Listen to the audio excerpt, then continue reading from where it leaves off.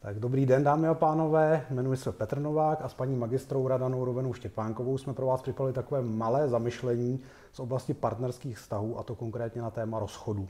Rozchod jako takový má nějaké zákonitosti, je to jedna událost nebo série událostí, na co se připravit v okamžiku, kdy se člověk dozví tu radostnou zprávu, že eh, pravděpodobně potká rozchod. A je vůbec prvním, prvním impulzem to, že se to dozví, nebo už dávno předtím něco probíhá? Probíhají různé typy rozchodů i rozvodů. Setkávám se s příběhy, kdy, kdy ty lidi, klienti vnímají rozchod jako blesk z čistého nebe, eh, naprosto nepřipravení, protože měli pocit, že vlastně všechno je úplně v pořádku. Jindy se jedná už dlouho, o dlouho vleklou, dlouho letou, třeba i partnerskou krizi. Takže tam by člověk už mohl být třeba realista a zvážit, jestli pokračování v dysfunkčním vztahu má smysl, nebo jestli ten dysfunkční vztah je možný zachránit a vylepšit na nějakou hezkou úroveň. Je, je nějaká typická reakce na, na takové oznámení, anebo je to vůbec správná reakce přemlouvat partnera, dělat nějaký psíkusy a podobně?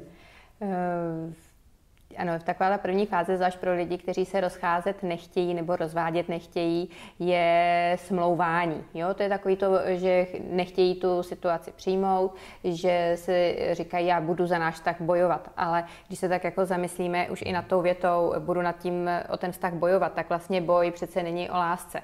Takže eh, ano, tam bývá taková ta chuť eh, vztah zachránit, přesvědčit toho, kdo chce odejít, aby zůstal, eh, popírají tu fázi, chytají se drobných maličkostí, že když něco funguje, takže vlastně mají naději. Je to takový to smlouvání s osudem a dělání si často planých nadějí. Mhm. Když padne to slovo rozchod, má to ta druhá strana, která nechce odejít brát jako třeba definitivní stanovisko, anebo ani ten, kdo ten rozchod inicioval, třeba není v tu chvíli úplně pevně rozhodnutý? Eh, zase to bývá různorodý, tak jak eh, žádní lidi nejsou stejní, tak hmm. i v těchto situacích jsou lidi, lidé různí. Jsou lidé, kteří váží svá slova a když řeknou slovo rozchod, tak eh, je to třeba po dlouhodobé rozvaze, krok, ke kterému se dlouho chystali, tak pak už je potřeba to brát vážně. Jsou lidé, kteří se slovem odstěhují se, nešetří, používají ho při každé hádce a pak už se člověk zvykne na to, že to asi ten člověk nemyslí vážně. Mm-hmm. Takže často záleží na určitý osobnostní integritě eh, každého jednotlivce. Pod pojmem rozchod eh, máme si to představit jako jenom jedno téma, jeden pojem, anebo to můžeme rozdělit do více fází a podle toho i eh, více rozdělit to prožívání, které toho člověka čeká? Ano, má i rozchod, rozvod má určité fáze, je to určitý cyklus. Ehm, můžeme se na to dívat z pohledu, když lidi spolu žijou, i třeba z pohledu ekonomického, sociálního, když už spolu mají zažity i přátelé, ale tomu se věnovat v tuhle chvíli nebudeme, budeme se věnovat eh, těm psychologickým aspektům. A z pohledu psychologických fází, tak eh, určitě se rozfázovat dá. Tak první, to jsme si teď jako víceméně popsali, je to taková ta první fáze eh, šoku, kdy člověk je v hlubokém stresu, protože neví, co má, co ho čeká, nečeká, někdy je to částečně popírání, někdy je to strach z budoucnosti, takže taková ta první fáze na té úrovni psychologické končí právě tím, že přijmeme to, uh, není co zachraňovat, dál musím sám a musím se postarat sám o sebe. Tak to je asi taková ta první mm-hmm. fáze, eh, při který mnoho lidí špatně spí, špatně jí, uh, takže jsou i narušeny ty biologické. Dá se říct, jak dlouho trvá, nebo to je u každého naprosto individuálně? Uh, opět, je to individuální, uh, záleží na člověku, na jeho psychické odolnosti, záleží na tom, jak v sobě má vybudovanou nějakou vnitřní integritu, řekněme i sebelásku. Takže pro takového člověka, který má hlubokou úctu k sobě a je to s, tím, tím procesem projde snadněji, mm-hmm. nikdy ne, nejsou rozchody veselé, mm-hmm. při kterých se tančí, ale takový člověk přijde, projde tím rozchodem eh, asi rychleji, než člověk, který má pocit, že když mu odejde tenhle člověk ze života, tak jeho život končí a už nikdy nic eh, v životě hezkého neprožije. A v, v té, o, o té první fázi se můžeme bavit teda v řádu dnů, týdnů? Jako u průměrného zdravého člověka. to hodně individuální, eh, řekněme, že v řádu týdnu. Mm-hmm Třeba myslím si, že se takováhle záležitost té nejhlubšího toho smutku a dá zvládnout třeba do měsíce mm-hmm. určitě. Co nastává potom? Co přijde, co přijde jako další fáze? Uh, někdy se to právě jak jako pro, prolíná, ale plynule se přichází často do fáze hledání vyníka kdo za to může, eh, co jsem skazil. Hodně se lidi obvinují, co měli udělat eh, lépe, čím si to skazili. Někdy hledají vinu v tom, jak napsali, sformulovali jednu větu. Mhm. Samozřejmě slova mají váhu, máme si dávat pozor na to, jak co formulujeme, ale Eh, pak se často upínají opravdu na maličkosti a sebeobvinování. Na se pořád přehrávají dialogy dokola a podobně. Ano, ano, ano. A to se vytváří hmm. takový ten eh, zacyklený eh, kolotoč a není úplně efektivní, hmm. takže tenhle ten, to hledání vyníků je obvykle dobré ukončit tak, že přijmeme pár faktů, které v tom vztahu hmm. byly špatně, třeba z jedné strany, z druhé strany, co si můžeme vzít jako za poučení učení, uh-huh. ale ve své podstatě e, není třeba hledat, že jeden je největší zmetek světa uh-huh. nebo že jsem já všechno zkazil, takže je dobrý zůstat u, u, u konstatování faktů. Ano, takhle to nějak e, bylo a teď musíme přijmout to, že jsme se rozešli. Uh-huh. Z něčeho si můžu vzít poučení, jestli to ten člověk myslí vážně s tím sebezpitem, tak může navštívit i třeba psychologa, psychoterapeuta, některé věci si tam e, sformulovat, něco si napsat do deníčku, tak jako udělat takovou to inventuru, uh-huh, revizi uh-huh. toho vztahu, to asi může být užitečný do dalších let.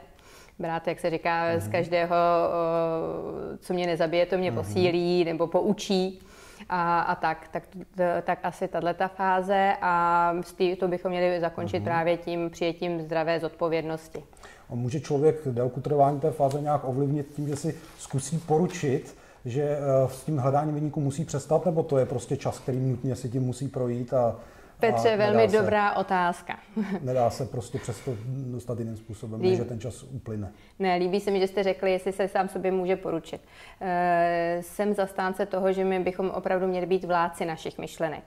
Eh, že když vyhodnotíme, že tady těmi myšlenkami si pouze energii bereme, nikam se neposouváme a jsme zaciklení, tak je potřeba eh, umět nastolit si určitou myšlenkovou sebekázeň. Mm-hmm.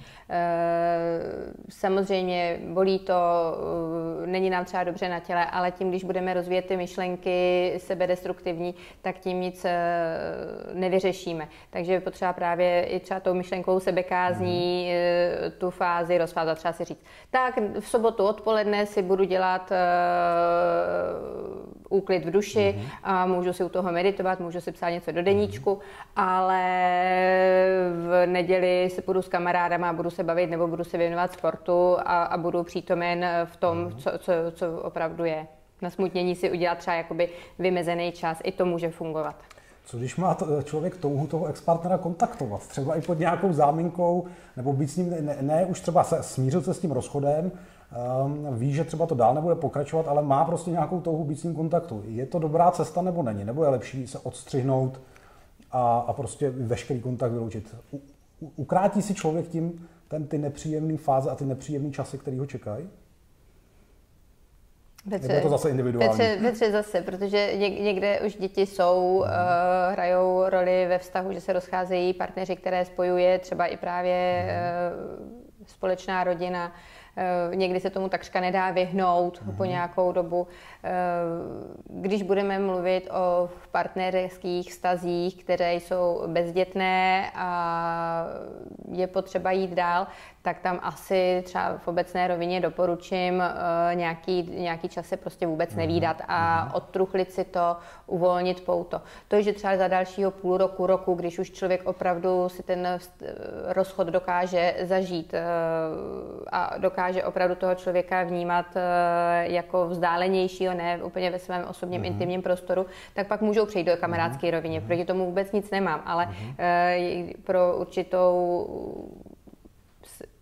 psychickou pohodu nebo psychický zdraví v určitý chvíli je dobrý se od toho člověka mhm. odizolovat, abych já si zažil to, že jsme mhm. skutečně rozešli a neudržoval tam to uh, pouto. Mm-hmm.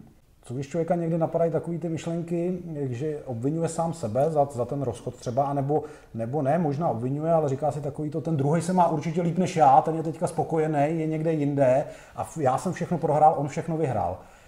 Uh, jsou to nesmyslné myšlenky, nebo, nebo, nebo prostě má člověk se přes, přes to nějak dostat? Jsou to myšlenky, které myslím, že znají všichni, kteří dostali košem, mm. že mají pocit, že ten druhý si jde za štěstím a jim zůstávají slzy mm. uh, pro pláč. Mm. A realita často bývá jiná, jestli někdo zažívá chvilku štěstí, uh, všichni prožíváme vlny, takže v tu mhm. chvíli je možný, že zrovna jeden jde spíš do nějaké větší pohody, druhý jde do nějakého smutku a věřte tomu, že během mm.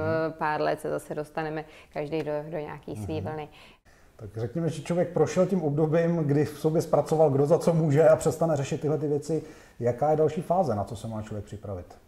Uh, nebo připravit. To, nebo tam... už je to regenerace nějaká, že člověk se vrací k normálnímu vnímání? No, já bych řekla, tady tu třetí bych doporučila, aby byla trošku víc vědomější a z toho hledání vyníku bychom měli přijít do toho vnitřního prožívání, protože e, lidi, jak prožijou rozchod, tak je to přece jenom často opravdu bolí i fyzicky mm. na hrudníku, že je to vlastně až fyzická bolest.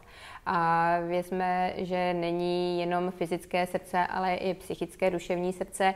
A když dovolíme prožít to, že vlastně ten rozchod nás bolí, mm-hmm. i když si mhm. řekneme, že to byl hajzl a debil, tak eh, je užitečný přiznat si, že přesto, že je takový a makovej, tak nás ten rozchod bolí. A je užitečný umět klesnout do té své bolesti a navázat kontakt s tím svým srdíčkem a přenést pozornost přímo sem a říct si tady ty moje srdíčko, ty jsi to moje nejdůležitější, o tebe se vlastně budu teď starat a jít do toho uzdravení srdce nejlépe třeba na meditativní úrovni, na tom udělat, umět si udělat eh, příjemný teplo tím, že se člověk i třeba obejme, eh, že se pomazlí s kočkou, ale zároveň si řekne, to je pocit lásky, který, který hojí tu, mm-hmm. tu moji vnitřní bolest, kterou uh, mám po odchodu toho Čili partnera. nějakým způsobem snažit se nahradit ten cit, který tam v tu chvíli pak chybí, ty emoce a to vůbec to prožívání, aspoň nějakou náhražkou? Zůstala, by, zůstala bych u slova uh, cit, mm-hmm. uh, emoce lítají, že jo? to Jasně. jsou takový ty krátké splanutí, ale uh, cit, uh, cit láska, mm-hmm. La, pravé city jsou pouze dva, láska a bolest. Mm-hmm. Eh, my jsme byli, měli otevřené srdce, představili jsme si, že budeme jedno těla, jedna duše. Ta část nám odešla, tady zůstal kráter a bolest. A abychom tohle uzdravili, tak potřebujeme tam přesně poslat tu sebelásku a vytvořit takový ten uzavřený okruh. Někdo to dělá s eh, médiou, který ho si obejme, někdo s polštářem. Umět si udělat tady to příjemně teplo, že vím, že ten dotyčný byl pouze spouštěč toho, mm-hmm. co já tady umím hezkýho vytvořit. Mm-hmm. Takže tady tu, tu lásku si umět aktivovat a třeba si říct, a láska k tomu XY nebo k té eh, dámě tady prostě zůstane mm-hmm. v nějakém oříšku a může tam klidně i zůstat. Je, je tím cílem, řekněme, trošku hostejnění k týmu bývalému partnerovi, aby, aby, to, aby se ta vazba přetrhnula a člověk mohl jít dál? Já bych to nazvala slovo propuštění. Můžeme to možná v širokém slovu eh, smyslu nazvat i zlostejněním, ale jedná se o určité uvolnění té vazby a propuštěním. Ty jdeš tam, já jdu tam a tady opravdu jsme, jsme svobodní. Přeji tobě svobodu, sobě svobodu a ve své svobodě se můžeme užívat a radovat si svých životů. Je to tak, že i když ten eh, rozchod třeba ten člověk nechtěl a byly tam třeba nepříjemné zážitky, nepříjemné věci, asi by měl eh, se rozloučit s nějakou nenávistí nebo vyčítání k tomu expartnerovi, aby to netáhnul pořád sebou, že jo, další let a do dalších vztahů. Eh, to určitě máte, Petře, pravdu. A jestli můžu, tak tady mm-hmm. jako řeknu takový doporučení, já řeknu básničku nebo mhm. afirmace, který je, kterými je dobrý ten vztah dokončit, uzavřít a to je Eh, že říkáme tomu partnerovi miluji tě, ale zároveň si říct miluješ mě. Mm-hmm. Odpouštím ti, odpouštíš mi. Žehnám ti, žehnáš mi. Mm-hmm. A propouštím tebe, sebe do pole svobody a přeju tobě i sobě svobodu na všech možných úrovních. Na úrovni těla, srdce mm-hmm. i pohlavních orgánů. A tím se dostáváme vlastně do čtvrté fáze rozchodu a, tí, a to tím je znovu nabitá svoboda a zregenerované mm-hmm. na srdce, které je připravené dál užívat a vyměňovat si lásku s dalšími mm-hmm. bytostmi. Děkujeme za pozornost, jsme rádi, že jste se dívali. Pokud se vám video líbilo, eh, najdete kontakt dole pod videem, případně dejte like, dejte odběr a budeme rádi za každou reakci, co se vám líbilo, co se vám nelíbilo a třeba někdy příště nashledanou. Děkuji, že jste se na nás dívali a jestli vás něco zaujalo, tak budeme rádi, když nás lajknete nebo video zazdílíte a jestli máte nějaké svoje osobní problémy, dotazy, tak buď napište nebo se můžeme i sejít. Děkuji za pozornost.